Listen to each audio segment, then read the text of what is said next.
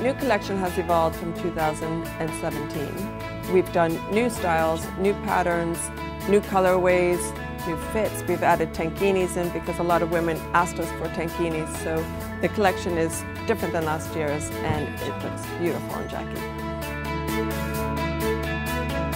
The swimwear makes me feel incredibly safe and secure, but it's so lovely as well. It's so nicely designed. The colours are fantastic. When you put it on, you just feel a million dollars.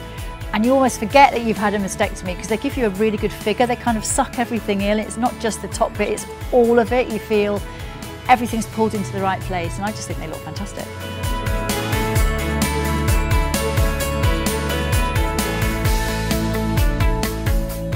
I design for all ages. There's no, I mean, women today in their 60s are more fit than some women in their 20s. So I tried to do this collection that there's a piece for every age, whether it's a swimsuit or a tankini. I have 20-year-old girls that wear tankinis and I have 60-year-old women that wear bikinis. So it's very diverse, it's very conservative colors, so you don't have to worry about standing out too much. And with breast cancer, there is no age. So I made sure that there was something for every, every age, every body type.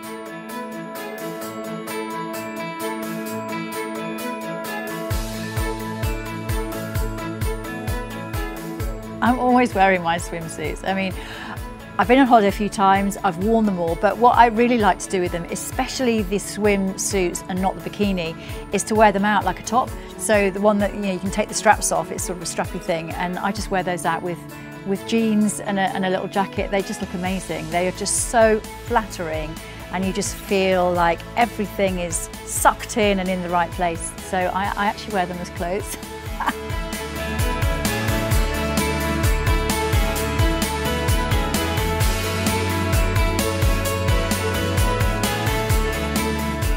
wanted to partner again with Future Dreams and Amoena because it was such a success the first year. We've got such amazing feedback from women who were so intimidated to go to the beach that now they feel like they can go to the beach and feel good. So it's about giving women back confidence. I think, you know, it's all about, you know, women empowering women, helping women out.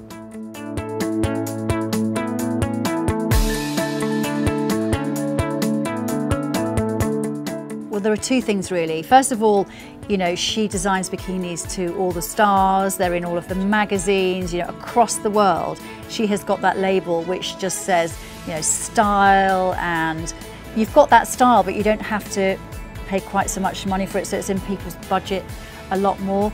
All her designs have been tailored to keep everybody in position after they've had surgery, you know, like I have, um, where you're perhaps a little bit less confident. You don't want anything going where it shouldn't do and these costumes will do that for you. They're really, really well structured.